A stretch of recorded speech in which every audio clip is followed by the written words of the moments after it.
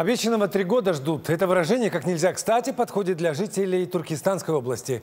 Уже несколько лет люди из двух районов Сарагашского и Клесского ждут, когда их дома подключат к газопроводу. Тем более, что его проложили и даже провели к жилищам. Но голубого топлива все нет. Бахром Абдулаев с подробностями.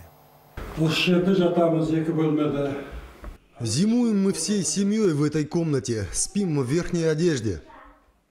Сносить самодельные печи жители села Абай-Келецкого района не решаются, но многие потратились на газовые котлы, которые теперь простаивают. Дильфуз Дадабаева, мать четверых детей, говорит, что прогреть ее дом углем невозможно.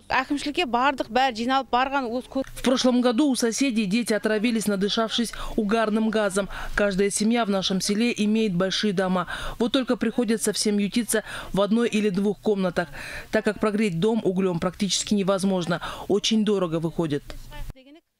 В Акимате Килевского района говорят, что не способны сами решить эту проблему. Заказчиком строительства автоматизированной газораспределительной станции и прокладки газопроводов в 2017-2018 годах был отдел ЖКХ при Сарагашском районе. Район два года назад разделили и часть территории отдали новому Килевскому. Станции должны были сдать в эксплуатацию зимой того же года, но возникли проблемы. Смета не предусмотрела многого.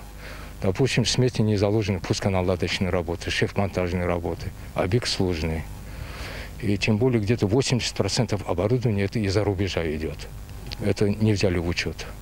Так что сдали АГРС только в 2016 году. Стоимость проекта 259 миллионов тенге. По словам заказчиков, объект не могли запустить до сегодняшнего дня, так как для врезки в газопровод и для его запуска необходимо было дополнительно более 50 миллионов тенге. Но сейчас все в порядке, говорят в Ахимате. Мы планируем подключить станцию газопроводу до конца этого месяца, после чего будем запускать станцию и населенные пункты будем подключать к природному газу. Представители отдела ЖКХ добавили, что полностью подключить абонентов к новой АГРС, а это больше 10 тысяч человек, они планируют до конца 2021 года. Так что жителям села Абай все же придется закупить уголь на зиму. Бахром Абдулаев, Жансерик Бурамбаев, Информбюро, Туркестанская область. Смотрите Информбюро на YouTube. Прямые эфиры, репортажи с места событий, аналитика, журналистские расследования. Все то, что важно и нужно знать.